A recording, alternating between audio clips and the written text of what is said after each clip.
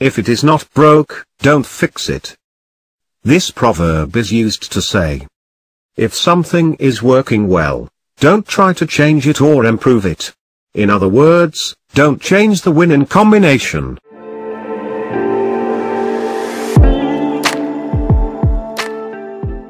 If you can't beat them, join them.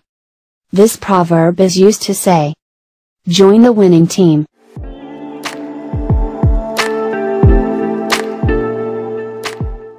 Keep your friends close, and your enemies, closer.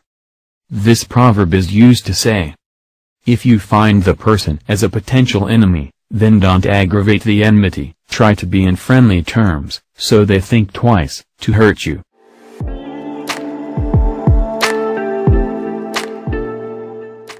No man, is an island. This proverb is used to say, no one is truly capable of living alone. Everyone relies on others.